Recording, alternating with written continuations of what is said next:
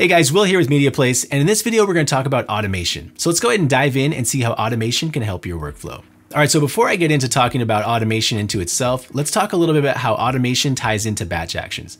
All right, so I'm gonna go ahead and select these three images, and then I'm gonna go over here to the top and go to my actions, right? Now, you can see that I have the option to do a bunch of batch actions that process one action at a time, right? So I go to images here, and maybe I wanna convert these to a PNG, I can convert all three of these images at one time as a PNG, right? But what happens when I want to process multiple files at one time, but do multiple actions as well at the same time? So maybe I want to convert this to a PNG and then I want to make an adjustment here and then I want to add a filter to all three of those and then have that do it at one time. Well, you can do that right here with presets, all right? So if I come over here and click on presets and then go to manage presets, it opens up my presets dialog box, right? So now what I can do is I can add an action here and we can call it, uh, let's just call it our um, batch operation uh, one, okay? And then what I can do is I can add an action here. Now I've got an image selected, so I can go to images and let's say I wanna convert it. So I'm gonna convert these JPEGs to a PNG and I'll go quality 100%. Let's add another action, right? So let's go back down to images and let's say I also want to flip these, right? So I can go, let's set it horizontal, let's flip them vertically. All right, so we've got two actions going on, right? We're converting from JPEG to PNG, and we're also gonna be uh, flipping these vertically. Now I wanna add one more action, go back to images here, and let's do uh, a filter. And let's go ahead and add the Technicolor filter here.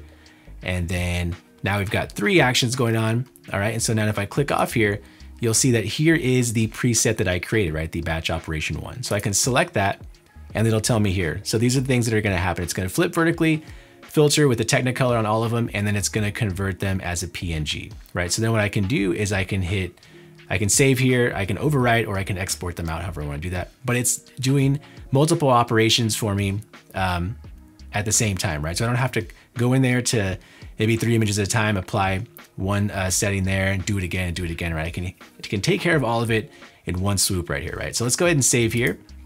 And you can see the tasks are in process. And now if I come off of here, here is the images that it flipped. And then it also did my color corrections there with the filter and it converted all of them to PNGs, right? All right, so that is how you can apply multiple actions utilizing the presets in batch actions, right? All right, so let's talk about how this applies to automations and how those work together.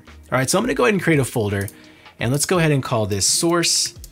And then we're gonna create a secondary folder and we're gonna go ahead and call this uh, processed files, right? All right, so let's click on the source folder here. And if you go over here to the right side of the program, you'll see there's automation, add action, right? So let's go ahead and select add an action. Now you'll notice right away that when I click on that, you'll see that there is the batch operation one that we created up here at the top in our batch actions, right? So that's how they kind of work together, right? So whatever preset I create, even in batch actions, I have access to in my automations for my folders, right? So I'm gonna go ahead and go to manage presets and let's change this up, right? So I'm gonna go ahead and select to add a new, right? And this one's gonna be my source, source uh, operation. All right, now what I'm gonna do is I'm gonna add some actions.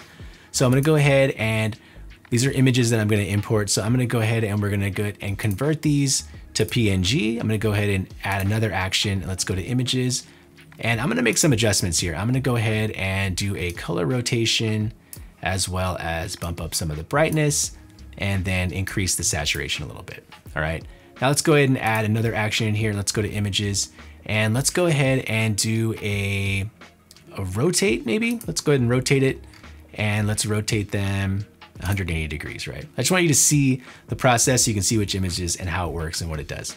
All right, so now let's go ahead and click off of here and come back out. So now if I want to add an action, I can go here and you'll see that there is my source operation. So I'm gonna go ahead and select source operation. And the cool thing about this is when you automate stuff that goes inside a folder, uh, once you create the action, you can choose where you want to save all the things that you drag into this folder at, right? So I'm gonna go ahead and I'm gonna change the folder. I don't want it to save to here because these are gonna be my source files. I want to save all the processed files to our processed files folder, right?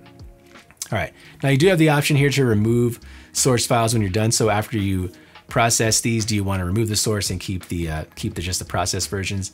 Um, that's why I have two folders in case something happens. I always keep the source files. Um, that way I can go back and make changes if I need to. All right, so what I can do now is I'm gonna import in, and what this does is it allows me to import in all the files that I import into my source folder. Um, they will then process all these actions and they will be put into my processed files folder, right? So let's go ahead and go to click on import up here. And I've got these hiking pictures here that I'm gonna go ahead and open. And so now it's telling me, yes, it's gonna go, my destination folder is the source and it's gonna end up going to my process files once it works through there. So I'm gonna click import. And then you can see there's some tasks in progress at the top and then it's here at the bottom and it's almost done processing. It's about 33%. So once it's done processing all those actions, I can then go ahead and click here in my processed files and you'll see it's already dumping those images into here and performing all of those automated actions, right? So super powerful, super helpful tool, right? So again, these work hand in hand with batch actions, right? So I can make a process in my batch actions, but then I can also bring those into my automation section, right? And I can then see them here uh, from the ones I created there, and then the new ones I created inside of my automation folder, right?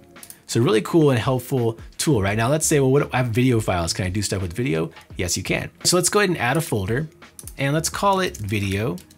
All right, now once I have that folder created, let's go over here to automation and then let's add a new preset, right? So I'm gonna click add for new preset and then let's call this video operations, all right? And then let's go ahead and add some actions. So I'll click on the add action button and go down to video and you have the option to convert, resize, rotate, watermark, or do multiple of these at the same time, but I'm just gonna add a watermark from here to start. And I've already got a pre-designed, I just got my name there in the bottom right corner. Now, if I wanted to create a new one, I could click on manage designs and then maybe import in an image that I have of a pre-existing watermark that I have or add some text. Um, and then I could use the random background to generate what that looks like with my watermark, right? So pretty cool. And you can have as many watermark designs as you want. Um, you just add a new and then create the ones you need to, right? But for now, I'm just gonna use this will watermark that I have. All right, now from here, let's add some more actions. So I'm gonna click on the add actions again and let's go to all files. Now from here, I'm gonna add a rating and I'm gonna give the files that I'm gonna import, um, this is, they're all gonna have a four star rating. And I'm gonna add one more action, go to all files and let's add a tag. And we're gonna call this, I'm gonna call it space because that's what my video clips are. So then now every time I import fi uh, video files into this folder, it's gonna give them a watermark, a four star rating, and it's gonna add a space tag to them, right? So let's go ahead and click out of here. Now with your video folder still selected here, go over here and add action. And then here is our video operation preset we just created.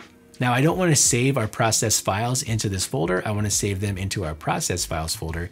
So what I can do is go to save to and then select this folder here and then choose my destination folder I wanna save those to. For me, it's gonna be the processed files. And then it's gonna save them as MP4s. And then all I gotta do is now import in some video clips, right? So let's go over here to top, click import, and I'm gonna import in this earth clip and this video track here, and then hit open. All right, now it's letting me know my destination folder is going to my video folder, and I've already added that automation preset to it. So let's go ahead and click import. So now you can see it imported in the video clips that are there. Um, one's 1080, one's 720, um, 15 seconds and six seconds apart. So now it's processing. Um, so depending on how large your files are, um, and also your aspect ratios, whether you shot in 4K, 1080, that kind of thing will determine your processing time. Um, so I'm gonna go ahead and pick back up once they're finished here and we'll go into the process files folder. All right, so now we are done processing. So let's go to our process files and there you can see that both of our video clips are here. And if I double click, you'll see there is the watermark and let's exit out and you'll see there are the four star ratings at the top. And you can also see on the right side under the info, four star ratings with the space tag added to both of them, all right? So super powerful features inside of Media MediaPlace. Again, that is the closer look at the automation tools, utilizing the batch functions as well inside of Media MediaPlace. Stay tuned for more videos, and as always, keep creating.